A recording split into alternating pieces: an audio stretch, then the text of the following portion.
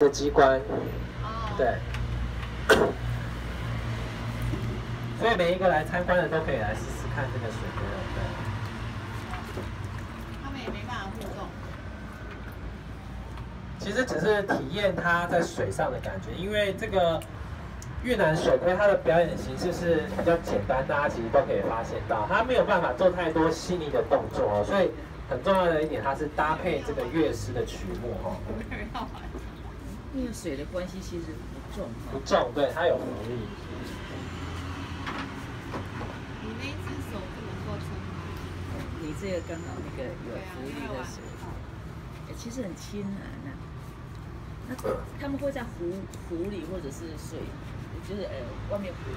对，就是像照片这个样子。那当然晚上的时候他们会做的比较漂亮，有打灯光，有灯笼，有这样子的方式，这样子。那他们会在什么特定的节日节日？啊还是平常？平常会呃，就是休息不用做重点的时候。通常在传统的这个刚刚有讲过是演给神明嘛，所以说传统的这个呢是通常都在过年或是他们重要节庆的时候。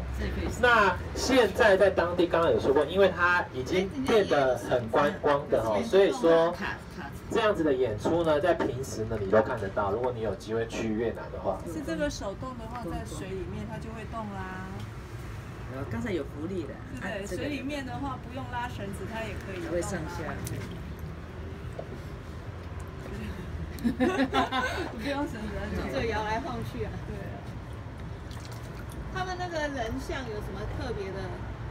呃，大部分都跟他们的生活有关。那有几个是像是仙女的角色，那像这个呢，它非常的特别。八同人。它它通常就是呃作为一个这个秀开幕主持人的一个角色，它的名字很特别，它就比如，对，它叫做比如，对，它的样子就是通常这个样子，对。主持开场。对，主持这个戏开场的的那个角色。